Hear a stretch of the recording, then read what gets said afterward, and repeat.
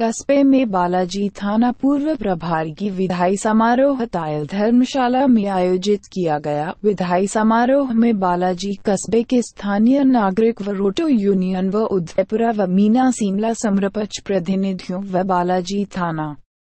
staff सहित लोगों ने पूर्व थाना प्रभारी दिलीप सिंह नवनियुक्त थाना प्रभारी राजपाल चौधरी का माला व साफा पहनाकर भव्य स्वागत किया इस दौरान पूर्व थाना प्रभारी दिलीप सिंह ने सभी का आभार व्यक्त किया और मेरे इस थाने में बहुत अच्छा कार्यकाल रहा